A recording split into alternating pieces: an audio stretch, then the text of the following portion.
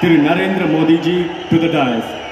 We welcome other special dignitaries on the dais respectively.